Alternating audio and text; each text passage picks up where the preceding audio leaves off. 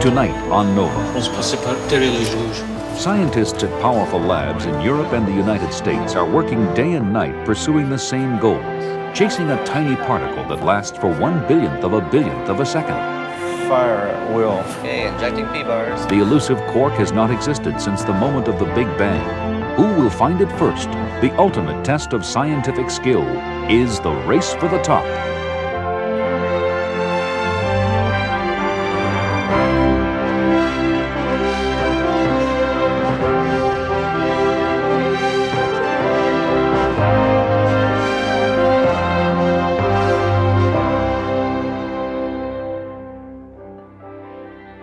Funding for NOVA is provided by the Johnson & Johnson family of companies, supplying healthcare products worldwide.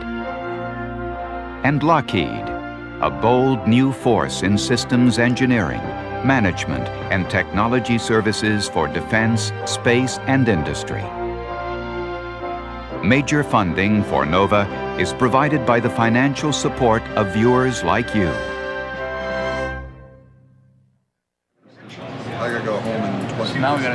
Gotta check this charge index and stuff. That's correct. If you, so you're not gonna do it? 24 hours a day, every day for the next year, this control room will be home to more than 200 physicists seeking new answers to the oldest and deepest questions of science. What is the world made of, and how does it work? We have in mind a goal toward which we are moving and which may actually be reached within our lifetimes, within a century, we don't know. Uh, the goal of finding principles of physics which have no explanation in terms of deeper principles, which are, as far as fundamental laws of physics go, the final answer. In the century since British physicist J.J. Thomson discovered the electron, scientists have pursued the final answer through the search for elementary particles, and they have uncovered the building blocks that make up everything on Earth. Our world is made of atoms, in which electrons orbit a nucleus of protons and neutrons, and we now know that the proton and neutron are themselves made of still tinier, more fundamental particles called quarks. Electrons and quarks are the foundations of everything on Earth, but they're not the final answer to the mystery of matter. Here at Fermilab on the prairie outside Chicago, experimenters are closing in on these deeper secrets, the foundations of matter throughout the universe and throughout time. Their instrument? A ring four miles in circumference, where they accelerate subatomic particles to nearly the speed of light. As they race around the underground tunnel of the accelerator ring, these tiny bits of matter are smashed in violent collisions. To see what comes out of these high-energy explosions, Fermilab has built a new kind of microscope. Physicists can't observe fundamental particles directly. In the accelerator, the enormous energy of collisions reveals them for only an instant. It's this giant particle detector that enables experimenters to follow their trail. This physics we do is like a voyage of discovery. Okay, where you're, you can imagine you're Columbus and, and you're on the, the, the Nina and the Santa Maria, and this is our Santa Maria that we're setting sail on here. Uh, who knows where, to a new world, we hope. The world revealed by the particle detector contains forms of matter that don't exist on Earth. Quarks that inhabit only the hottest galaxies, and quarks that flourished in the seething energy of the early universe. Now, using the unprecedented energy of today's accelerators, experimenters will smash these earthly particles together in search of a quark that lived for only an instant in the fantastic heat and energy of the Big Bang, a quark called TOP. Finding the top quark is the highest ambition of physicists all over the world. Here in the shadow of the Alps on the border between France and Switzerland is the laboratory called CERN, the European Physics Center run jointly by 14 countries. Hidden beneath these streets, CERN operates its own huge accelerator ring, and its physicists are also about to launch an experiment in search of the top quark. Today, the CERN team is moving its detector into final position.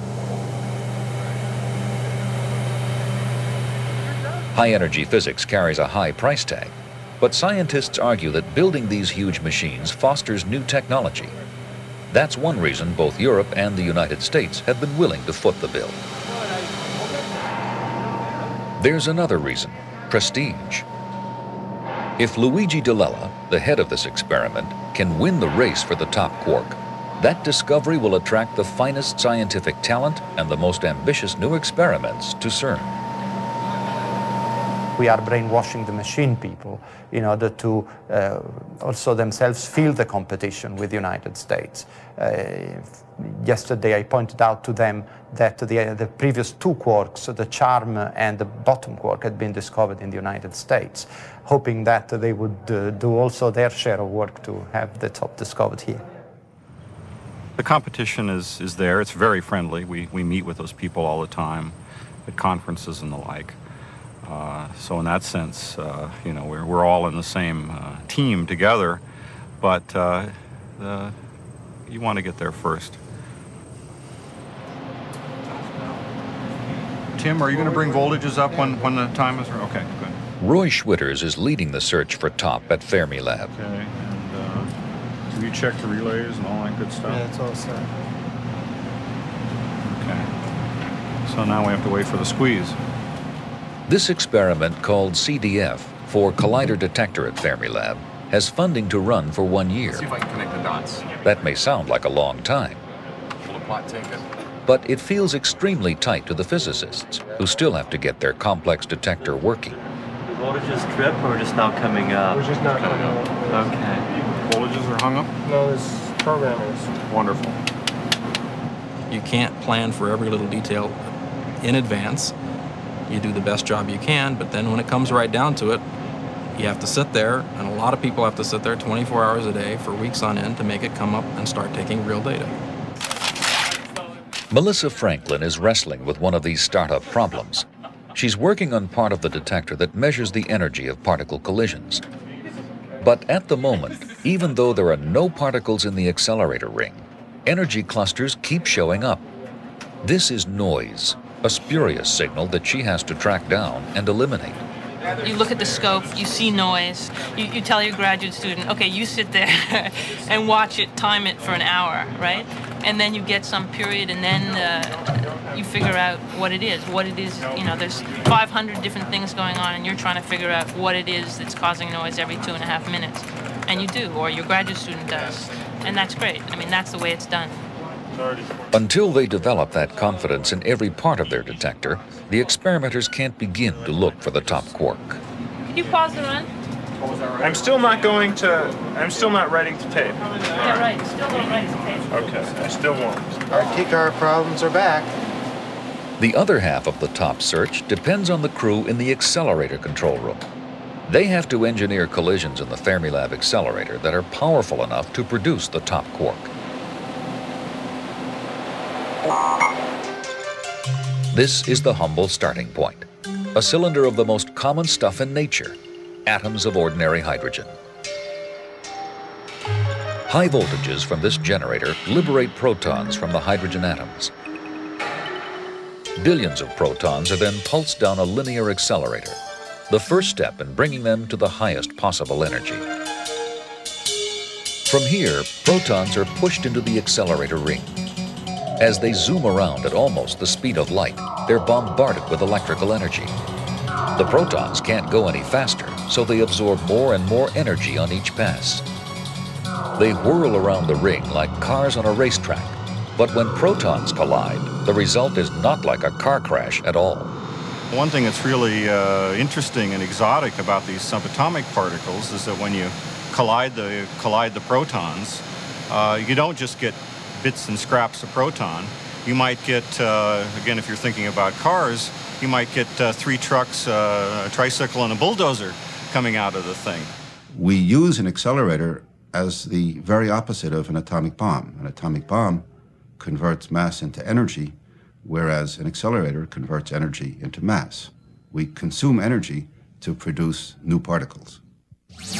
The new particles physicists want to produce are massive, so the accelerator has to smash protons as violently as possible, and that requires a head-on crash. It was at CERN in the late 70s that physicists figured out how to produce head-on collisions in a single ring. The solution comes from the strange world of antimatter. We had one big ring in which these particles turn around, and we wanted to collide uh, particles turning around in one direction with particles turning around in the other direction. Now, if you want to turn in the other direction, you must have a particle that has an opposite charge. Otherwise, it's not deflected in the right direction. So you need protons, which are positive, and antiprotons, which are negative. And then you can do that experiment with a single ring. Now, the accelerator ring becomes a collider, smashing bunches of protons into bunches of antiprotons. These collisions release the maximum energy for the creation of new particles. And in 1983, CERN's proton-antiproton collider proved itself triumphantly when experimenters discovered two massive new particles. The collider made CERN the international leader in high-energy physics. Fermilab moved quickly to catch up, converting its accelerator into a powerful collider called the Tevatron and building a new facility to produce antiprotons. Now, both laboratories are poised to pursue the next big prize in physics, the top quark. The race for top is the final chapter of a story that began here at the Stanford Linear Accelerator Center back in 1974. Although the quark theory was already 10 years old, it was still unproven. But then, a young postdoc named Roy Schwitters took part in a breakthrough an experiment led by SLAC's present director, Burt Richter. This is very much, this anti-accelerator is very much as it was then with more modern electronics, uh, but that's about all that's different. SLAC believes in maximum scruffy, and it's still maximum scruffy. Schwitters and his colleagues built the first modern detector and connected it to a powerful new accelerator ring. Their ambitious innovations paid off on a Sunday afternoon in November in a dramatic story you can follow in the logbook. 3 p.m. This past fill has been incredible. The signal's getting bigger. Wow, the signal's still getting bigger. Wow, it's getting bigger. Wow, it won't stop. Off scale. And I think that's when everyone, uh, that's when people realize, at least I you got kind of scared because this was so far outside the physical realm that we were thinking about. Uh, at least I, I began to wonder, you know, what was happening. They were too high on discovery to even notice champagne. What they'd found was a new particle, clearly made up of two quarks, the first experimental confirmation of the quark idea. Most experiments add incrementally to knowledge. I think all of us knew on Sunday that uh, what we had done was not like that at all. That we had really changed the course of physics in a very fundamental way, and that we had not incrementally turned the wheel a little bit. It had been flung hard over very fast. Astonishingly, the new particle which Richter called psi at SLAC was discovered at exactly the same time at Brookhaven Laboratory, where it was called J, the twin results sparked the November revolution of physics, and a new theory of fundamental particles was born. All of the pieces were already in place, but they were speculative. They were generally regarded as crazy ideas that couldn't possibly be true. The electroweak theory, charm, asymptotic freedom, things with funny names that didn't seem to make any sense.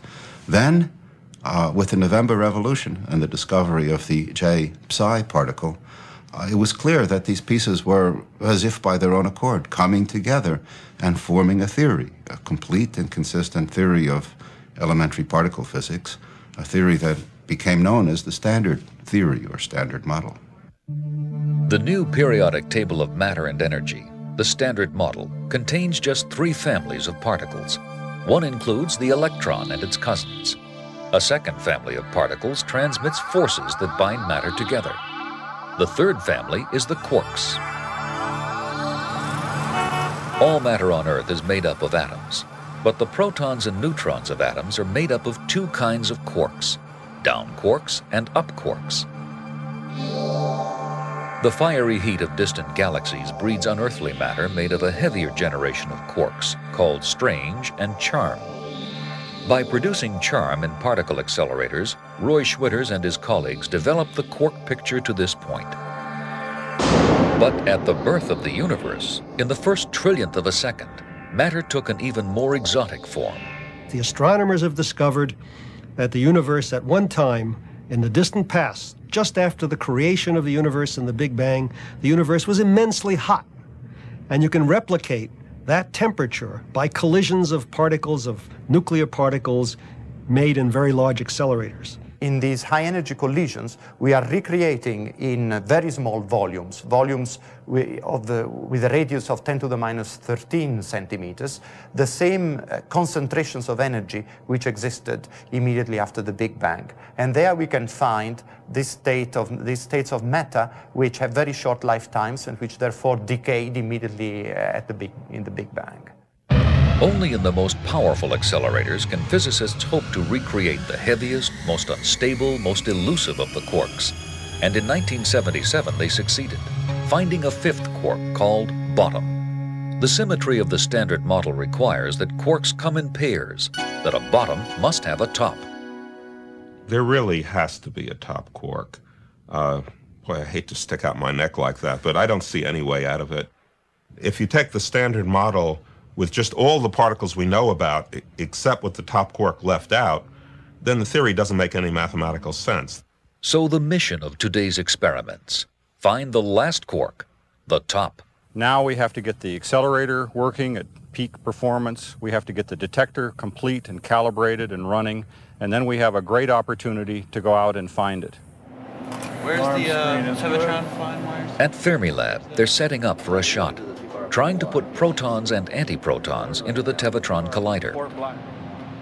And in the CDF control room, Schwitters and the other experimenters are anxiously monitoring the accelerator step by step. A cycle. Okay, now this will get coalesced. It's accelerated in the main ring, coalesced into one bunch, and transferred to the Tevatron. And there it is, third bunch in the Tevatron. Three of six proton bunches are in. The accelerator crew is off to a good start. No unnecessary plots this time. But the real objective is to get as many particles as possible with the maximum energy into each bunch. Yeah, we got 26 on 4 also. That's tremendous. Okay, let's see the next one. Here comes the next one. That's a beautiful one. We are keeping these protons that we have now injected, and now we're preparing to inject the actual antiprotons. Okay, so we're going to make a, an adjustment to the, what's called the chromaticity to the protons, and then in a couple of minutes we'll be ready to go. Six by six is off? The next step, injecting the first bunch of antiprotons, or P-bars as they're called, and tension mounts in the control room. While protons circle at the speed of light, operators run through their final checklist. Okay. So you ready, Bill? We uh, did we just schedule? Yes. Okay, so we've done enough scheduling, and we're we're good. Okay, go ahead. Listen up. Fire at will. Okay, injecting P bars. Okay. The pressure is on.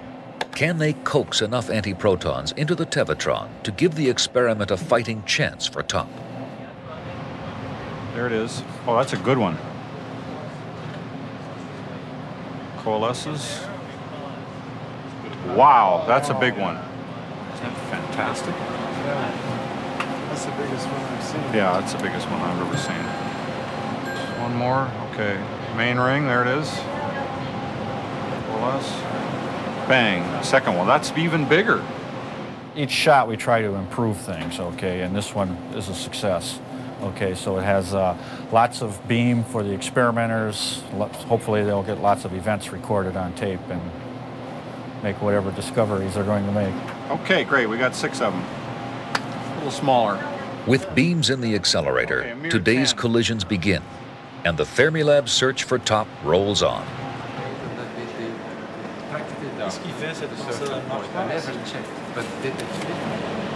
Nice, that's all the protons in le wire in plutôt que le...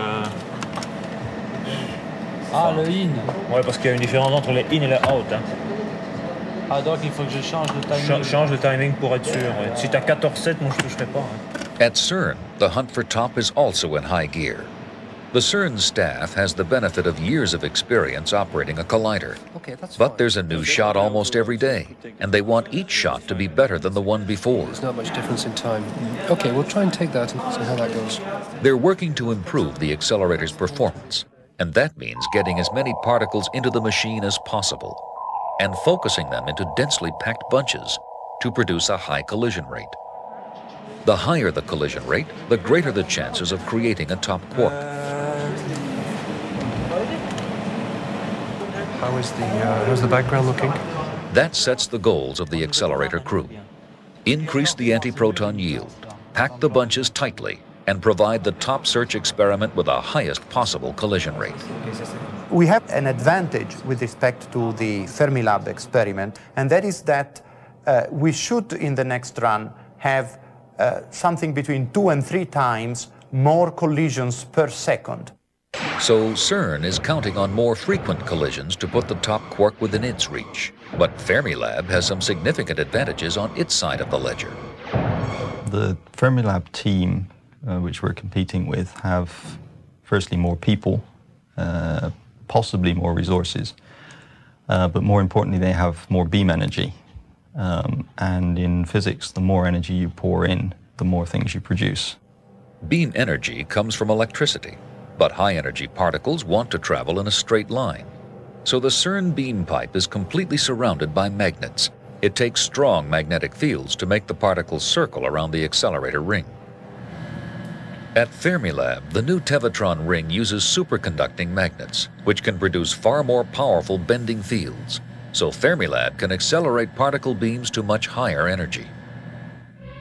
The beam energy at CERN can create particles as heavy as what's called 70 GeV, meaning CERN can produce particles about 70 times the mass of the proton.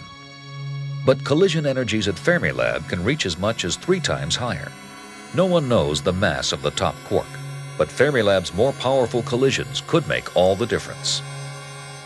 If the mass of the top is not heavier than the, than 70 times the mass of the proton, which is 70 GeV, we have uh, a good chance of uh, uh, winning this race. However, if the mass of the top is substantially heavier than, say, 90 or 100 GeV, then uh, we are out of business. So, in the critical area of accelerator performance, the pursuit of the top quark will pit CERN's high collision rate against Fermilab's high collision energy. D'accord, merci, vous pouvez nous mettre ça à 15 heures. Both machines are doing well, so it's shaping up as a real horse race. 13600. Dis quoi? If CERN weren't there running, our guys would be a little more relaxed. And I don't want them to be relaxed. I don't want them to be on edge. So I think it's very good. And every time I get a little uh, BitNet message uh, saying what they've achieved with their, uh, their luminosity, their machine, the number of collisions, I needle our guys and saying, look what they're doing at CERN. What's the matter with you sluggards? People tend to be working much harder than they should. So everyone's a little bit frayed around the edges. They're very excitable. Sometimes they get depressed because things aren't going as fast as they'd like. So everyone's emo- emotions are just at a, at a peak. People stand out in the parking lot going in between where our offices are and where B0 is and complain. and they're yelling and screaming, and of course, no one can hear, which is nice and uh, you throw stones at the pipes and at the main ring and things like that. And there's a lot of uh, there's a lot of anger just because there's a lot of intensity. The experiment has established a grueling rhythm. 24 hours a day, the physicists keep duty shifts in the control room. Why are we getting so many of these, or is because this not so many? It's a problem. It, no, I mean, this is normal. This is why you have to sit here all day long and do this. Today, Melissa Franklin is at the main console, the key position for making sure that the detector is operating properly and dealing with the inevitable problems. Her eyes are always returning to the most significant indicator of how well the experiment is doing the counters, which show the mounting total of collisions, the raw data of a high energy physics experiment. Each collision they detect, each event is a complicated pattern of particle debris. Physicists search these events for clues because the top quark is too elusive to show up directly.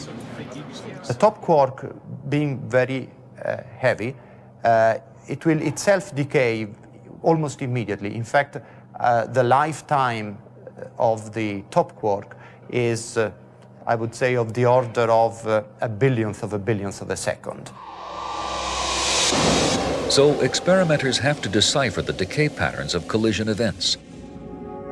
For that, they rely on their detector, the huge underground machine that surrounds the collision point in the beam line. The detector identifies decay particles emerging from a collision by measuring their paths and their energies. Each layer of the detector plays a different part in the process. This is a Tevatron beam pipe. The proton move in this direction, the antiprotons move in this direction. They collide in the middle of the central detector, about 10 feet behind me. At Stanford, they're building a new detector, and it's easier to see the massive scale of the central section. The beam pipe will be surrounded by this large cylinder containing a vast array of very fine wires. In a collision, particles fly right through the beam pipe, and these wire chambers will sense their electric charges, producing a high-resolution picture of the paths of the decay products. When particles collide in the CDF detector, their tracks are read by the delicate wires of the central section. Then, a massive layer of iron stops the particles to measure their energy. But a few are so energetic they keep going into the final layer of the detector. The last sector is the muon detector. It is last precisely because muons are identified by their ability to penetrate a lot of material. For instance, in order to get to the backplane of the muon detector, they have to go through something like 12 feet of solid steel, something that high energy muons do very easily. As a matter of fact, they just keep going.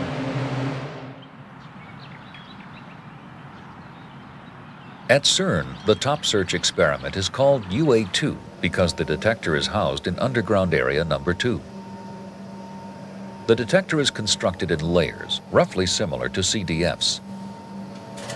But at the very heart of its detector, UA2 has an innovative layer, one that CDF doesn't have.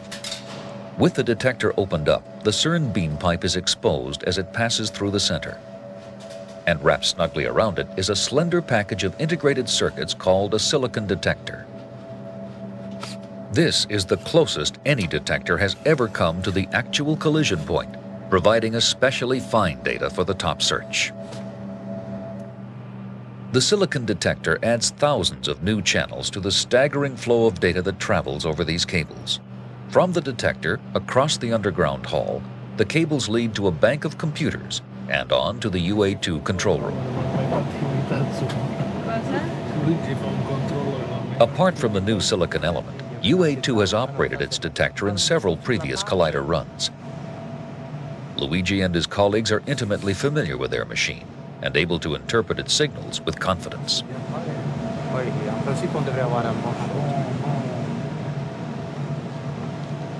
We have more experience. We've been in the collider business since 1981, and CDF are really on their first major run. So they have all the surprises in store which you find when you try and do this sort of physics. Saturday night, on shift in CDF control. It's calm for the moment. But surprises are never far off. Uh, is it back up? No. It is. Is it? No, but is the CTC back up there? It's back- it- whoop, it- me- it's updating, No, I think you want to pause. Yeah, It takes What? a while to. You better off looking at the screen till all the voltages come back up. At that point, you know you're okay. There are two things wrong at the moment. There's our calibration has changed slightly because the weather has changed, the pressure has changed. And there's a chamber that's not happy, and we've actually looked at the data and it looks okay. And the main thing is that we've decided just to keep going. The data is still coming in, the scaler is still counting. It's not serious enough to affect the data, so we're not going to stop. Events come pouring out of the detector, four stories below. Inside here, particles are colliding 50,000 times every second. The detector sends a stream of tracking and energy data on every one of these collisions up to the control center. But this much information would swamp the experimenters, and most of it is only routine physics anyway. To cope with the flood, CDF has designed some of the fastest computers ever built. In one second, from 50,000 collisions, these computers pluck out just one event to be saved. This is the first step towards zeroing in on events that might contain traces of the top quark.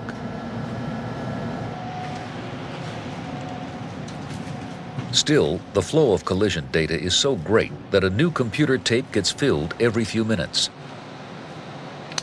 These precious records of the most informative events are collected every day by a technician. This is the next step in their long journey through data analysis, the careful sifting of clues for signs of the top quark. We run all the data tapes that come off the detector uh, within 24 to 48 hours to select off the cream of the crop of the events to get them into the hands of the physicists as quickly as possible. This rapid dash through the data, what's called the spin cycle, picks out a fraction of the remaining events which show the most promising evidence for top.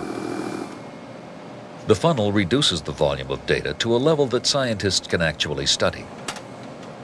And the latest results of the experiment go off to the universities and laboratories which make up the CDF collaboration. One team within CDF is based in California at the Lawrence Berkeley Laboratory in the hills above the UC campus. The flow of data summary tapes enables the Berkeley group to work in the front lines of the analysis while still at their desks 2,000 miles from Fermilab. At Berkeley and throughout the rest of the collaboration, 200 physicists are hunting for evidence that the top quark has been produced you've been building the detector for eight years, and then all of a sudden you find yourself in a room on a computer actually figuring out what's happening, what's actually going on with these tiny particles. It's pretty amazing.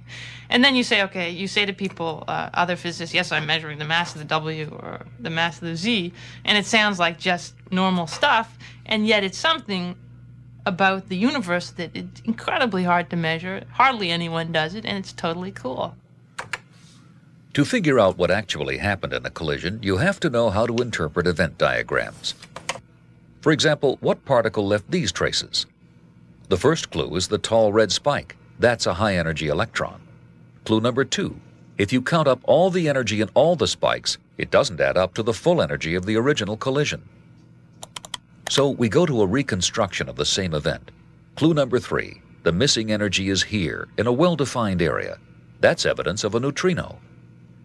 Conclusion this is the signature of the force carrying particle called W, one of CERN's big discoveries in 1983. So it can be decay of heavy quarks. A key player in the W search was a young physicist named Steve Geer. Today, Steve Geer is part of the Fermilab team. The DDX in the central detector. It was an extremely exciting period. We were scanning for months things that looked vaguely like an isolated electron, but not really convincing, not convincing at all. And then one day we got the real McCoy, a genuine object, and it was so impressive, it was so spectacular, very different to any of the background events. We knew that that was a W. It would be nice if a single decisive event like this could nail down the top quark. Unfortunately, that's wishful thinking. There are people who believe that uh, the discovery of the top will be just uh, like one or two events which you suddenly see reconstructed by the computer. You get a printout, possibly a color printout, and then you go around showing it like a flag and saying, this is top, this is top. This happened for the W and the Z because there was no other process that could simulate events with that configuration. But for top, we know of many other background events that can appear like top and are not. So many types of events could signal a top decay. It's theory and calculations that give experimenters an idea of what patterns to look for. Okay, here's an event that uh, is a good candidate for a top decaying. We see a narrow, high spike that's pink, which means all the energy went in the front of the calorimeter, so we know that's an electron. Uh, not shown here, but we can tell from the reconstruction is that there was, again, large missing energy, so we know there was a neutrino present. But in addition, we see another cluster of energy here in a different direction. Another cluster, there's actually two different clusters here, one behind the other. And there's still another small cluster over here. Now we can't tell on the basis of this one event whether it is top or not. But this is the kind of signature we're looking for, and if we see a significant number of events like these, then we could conclude the existence of the top quark. Then uh, the top trigger. The experimenters are investigating several decay signatures for top. Uh, at level three, To uh, pool we results, they gather every few weeks for a meeting of the top quark analysis group. They come from Japan, Italy, and the 14 U.S. institutions that make up CDF. Then the uh, distribution is like Coordinating the far-flung efforts of independent-minded scientists is a management challenge. And CDF has a new leader. works, that can Mel Shochet will have to hold the collaboration together as they enter the final phase of the top search. What we're trying to do now is get uh, groups of physicists looking at all of the different possible decay channels so that we have a big picture of whether there is a hint of a signal there and whether there's not. You can take the contents of these histograms Finding evidence for the top quark is a continuing process of elimination. The trick now is to work through candidate events and try to prove that they don't represent a top signal by accounting for them in terms of known physics. That's right. And from but from the muons also you can measure some of this Right, yeah. from the calorimeter. and you're gonna It's here that a scientist's judgment and insight become critical factors. The chemistry of, of intuition plays an important role. It's sort of embellished by experience, but experience mustn't be allowed to dominate it. Otherwise, you'll never do anything brand new. John Huth is trying to narrow the search by eliminating what's called background. It takes skill and experience to distinguish a possible top event like this from an equally complicated pattern like this, a tricky decay that only mimics a top signature. What I would like to do is take my intuitive notion of what a real physics event is and my intuitive notion of what a background event is and devise some way for the computer to reject backgrounds and accept only events that I consider real physics processes. He writes a program to make cuts, to pass potential top events and fail irrelevant ones. That reduces the data still further, but it also introduces a risk. There's always a danger when you make a cut that you'll be throwing away some very interesting physics. And, and so one is always worried when one does an analysis, am I throwing out the baby with the bathwater? And, and the, the, the converse problem is if you make the cuts uh, too loose, that you'll be accepting a lot of backgrounds. In either case, you're always worried that you're going to miss something. If you're in a race with a competitor, another experiment, you're always worried that they may have a different set of cuts that'll allow them to see uh, physics that you missed. Skill and judgment are also on the line at CERN, where Andy Parker is presenting a first run through of the cuts he's tried to make. That's a very powerful cut if you make it at this stage. You're getting a rejection of 3, 3.2 out of it. So after cutting on that, we're down to, to 29 events before this cut, and there are 10 in the peak. So you're left with 19 events, and you've sort of run out of cuts. I'm trying to filter down from the uh, what is it, 45,000 top triggers that are on the DSTs at the moment, down to what you would expect, which with the present data would be of the order of one event. And I expected to find that very difficult. And uh, I've actually got down to 19 events, um, which is surprising. And the reason for that seems to be that the silicon detector, well, is either working better than we expected, or it has such a serious problem that we don't know what we're doing with it at all. Let me just show you what some of these events look like. And I'll start with this guy. Is one of these events a top quark? This one looks good, with energy clusters, an electron spike, and missing energy. Confusing events are. But in fact, Andy's cuts aren't right at all. This event is literally off the wall. I wouldn't make any claim to say that I'd done the job right because it's the first try, and in general, the first try is wrong. Um, there are so many ways you can get it wrong that it would be insane to try and claim that anything was right at this stage. She's a good-hearted woman. Good, good,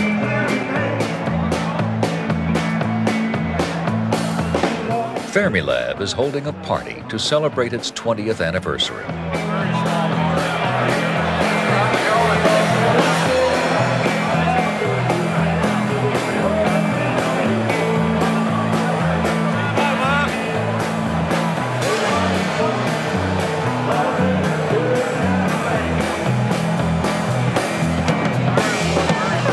Experimenters have scanned half a million collisions, and there's still no sign.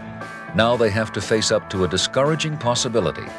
Maybe the top quark is heavier than they anticipated, and even the Tevatron won't be powerful enough to create it. We don't know what mass the top quark has. And if its mass is too high, we just are not going to be able to see it because the an accelerator of this energy won't be able to produce it. So it's it's a little bit of we're doing well, but nature has to be kind to us and put it where we can see it.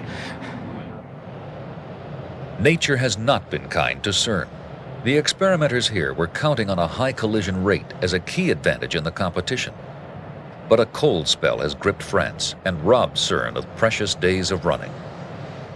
There is a uh, contract between CERN and the uh, French electricity company that provides electricity to CERN, by which, if uh, they decide so, they can switch us off during working days for a maximum of 21 days.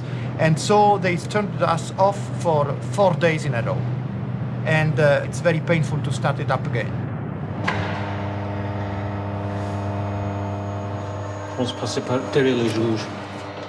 When the accelerator is off, there are no collisions, and the edge CERN had counted on is disappearing.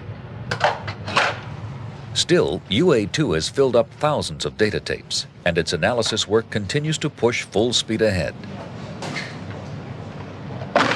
But time is running out for both experiments, and the frustration of not finding top sparks a brisk trade in rumors. I received a phone call from Alvin Tollestrup, who is one of the co-spokesmen of CDF, uh, who had uh, heard rumors that we were on the point of giving a press release to announce the discovery of the top quark. And, uh, you know, I mean, it was just nonsense. I, just, I don't know how he got this news, but uh, he, that, uh, he didn't even use electronic mail. He called me by phone to make sure. We hear a rumor that CERN has discovered this. We hear that they think there's a rumor that we've discovered something, and uh, as far as we know, neither one of us have discovered anything so far. It's the season of midwinter conferences, a chance to put an end to the rumors. So both experiments decide to present interim reports. But they know there's a risk in trying to say too much.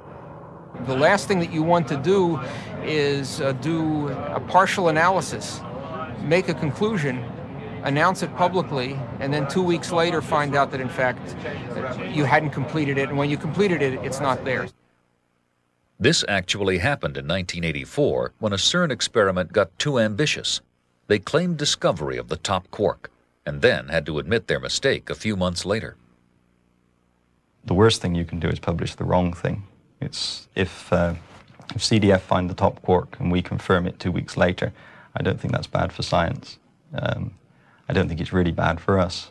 Uh, I'd much rather be in that position than to publish a signal and then uh, three weeks later have CDF deny it. We have to figure out just what we're going to uh, what we're going to say next week. What I've what I'd like to do is just quickly go through it and uh, see what changes we want to make. Uh, just four days before the conference, the CDF Top Quark Group meets at Fermilab to review Mel's report. They haven't found top, but they can announce some limits on the top quark mass. Reaching agreement on limits that are safe, but not so conservative that CERN will embarrass them, is proving to be a real challenge. Become a result, a true result, if those analyses hold up. Right.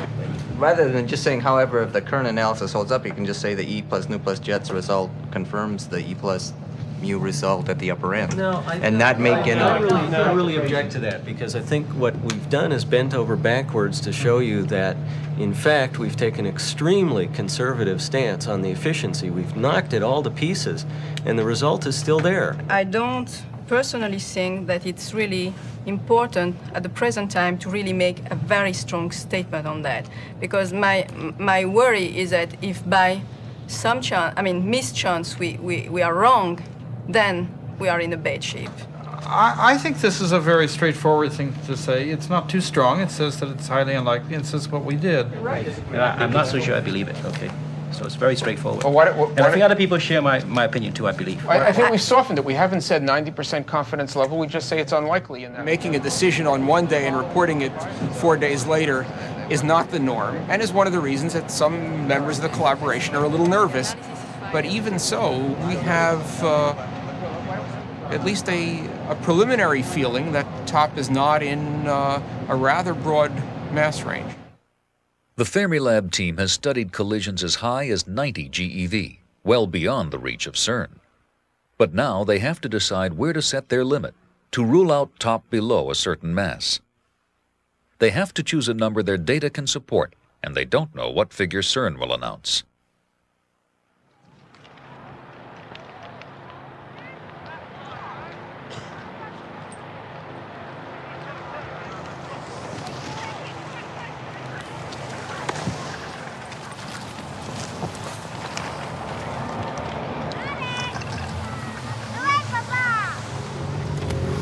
Rumors have reached Geneva that MEL will report a high limit, possibly setting it beyond the 70 GeV reach of the CERN accelerator.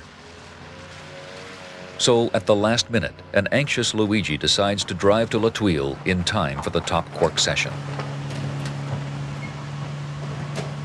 I don't know what uh, Mel Shochet will say today, but uh, if indeed they exclude a top uh, lighter than 75 GeV, it would very it would probably mean that uh, we would not see it at CERN. Now the case where one of the top quarks decays semileptonically and the other one decays hadronically. It's now the moment of truth. The CDF group has hammered out a limit. Mel has explained the state of the analysis. What number will he give for the lowest possible mass of the top quark? Conclusion then is that the CDF search for the top quark is in progress for a number of final state channels. If the current analysis holds up, then the mass of the top is not likely to be below approximately 60 GeV over c squared, again, assuming the normal charge current decay. The CDF limit is only 60 GeV, and CERN is still in the running. Yeah. What is your interpretation of the mu gamma event? I have no interpretation of the of the of the mu gamma event. I, I don't know. Uh, I Luigi is jubilant. The top quark is still fair game. Yes. Now it's Mel's turn to worry. He knows CERN hasn't found the top quark. But will UA2 reveal an even higher limit and take the lead in the race? Enough to know what, what it's likely to be. At Fermilab, at almost exactly the same moment, Andy Parker is about to present CERN's findings. I can show you one here. Members of the CDF collaboration are packed into the lecture hall. Now they sit and wonder which of the rumors are true. Detectors working well, you can detect complicated events. Andy leads them step by step through the details of CERN's data analysis. So my conclusions on top, there is no indication of a top signal in the UA2 data in a mass range 40 to 60 GeV. 60 GeV. After nine months of running, both experiments have come to exactly the same conclusion. And we look forward to showing you some good physics results in the future. Thank you. It would have been something of an anticlimax to announce that the top is not at uh, 60 GeV if somebody else had just told the world that it was uh, not at 90. So, uh, yeah, I was relieved. It was, um, it was actually very pleasant that, I think for both of us, in fact, that there was confirmation on both sides and no serious competition. CDF are very relaxed because they know that eventually they will outrun us. The result that we have indicates that uh, they're less likely to find it. On the other hand, we haven't uh, come out definitively and said that the mass of the top is above 75 GeV, which would really put him out of business. If, if you extrapolate from 60 GeV all the way up to 150, you could say the thing is, is running out of our reach. But there's no good experimental reason to suppose it's not at 65 at the moment. Both accelerators went back to work. But their spectacular collisions were not enough. After three more months of intense effort, time ran out. The CERN experiment had reached its limit without finding top. It was a little bit disappointing not to see the top because uh, the fact that uh, we were able to establish a limit means that if it had existed, we would have seen it. And so, uh, well, it's a dirty trick of nature to have put the top quark so heavy. The Fermilab run is over now too. And despite a trillion powerful collisions and the year of careful observations that fill these logbooks, they also have not found the top quark. the experiment would not be a success if the net result was our shrugging our shoulders and say, well, we don't really know. But that's not what we're saying. We looked, and if it was there, we would have found it. But nature didn't put it there, so we'll look further. It's always more fun to find a signal than to set a limit saying, well, at this level, we didn't see anything yet. So everybody is a little disappointed there wasn't some nice signal there and we can say, yes, there's top, this is the mass, we found it. Okay? But still, you have to say, hey, nature is what it is. We're trying to find out what that answer is. Turns out the answer is the mass is not a light mass, it is a heavy mass, and that makes it a harder object to find. I'm astonished that it hasn't been found to date. The uh, experiment, in fact, has gone uh, far beyond what we anticipated in terms of the amount of data presented, uh, and it's still not there, at least as far as anyone can tell. So uh, I find it actually extremely interesting from a physics point of view. Uh, the basic point here being that uh, here's an elementary constituent of matter whose mass is now probably you know 60 maybe 80 times higher than the nucleus of hydrogen. And uh, that starts uh, getting a little crazy this concept of our of our basic building blocks of matter. The top quark is more massive and more mysterious than anyone imagined. But that kind of surprise is what fuels progress in physics the best thing that could possibly happen in my view is that experiments are done more and more carefully and that they show that there is no top quark or at least there is no top quark lighter than 250 GeV. That would tell us that there's something wrong with our theory. It's inconsistent with the standard model. It's a contradiction. We're praying for a contradiction to build a better theory. That's what really, if we're lucky, is going to happen, that some new phenomena are going to be discovered which take us beyond the standard model, which show that the standard model works in a certain limited area, and this new these new phenomena are going to give us a clue to a deeper theory, and one of the things that'll come out of the deeper theory is an explanation of why the standard model works where it does work.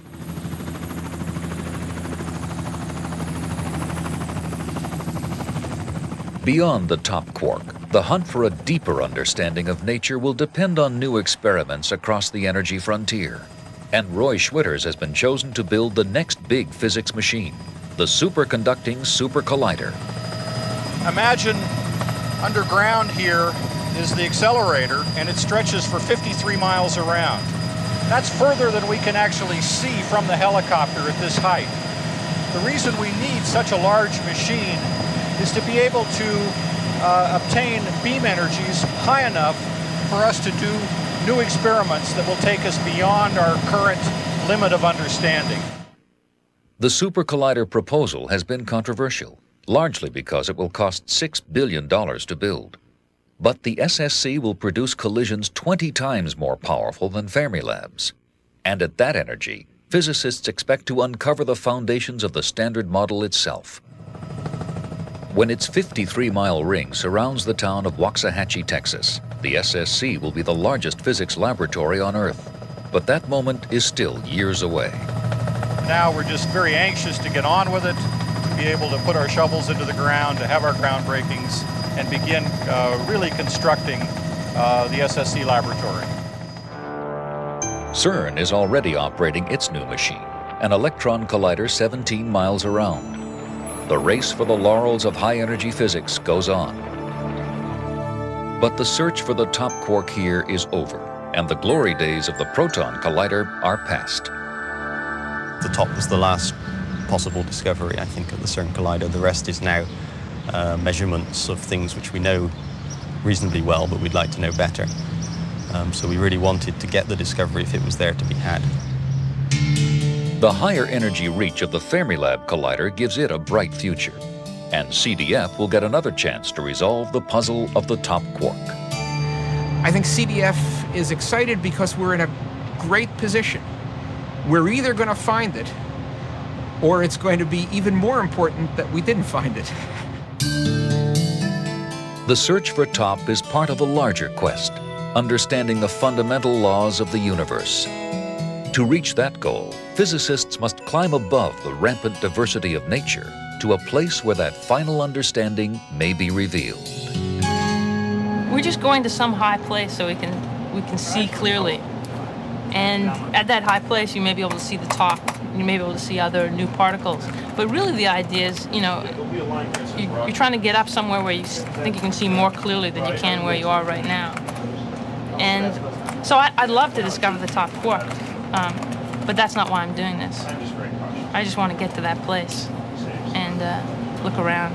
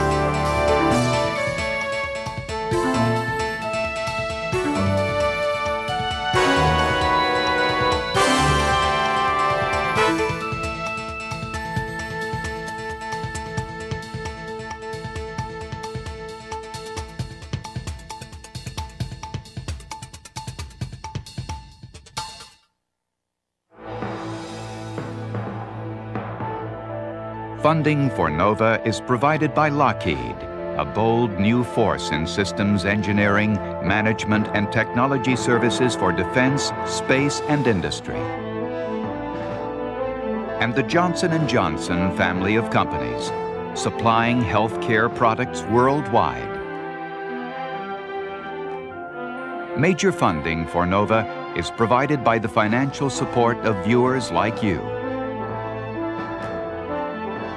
For a transcript of this program, send $5 to this address or call 212 227 READ.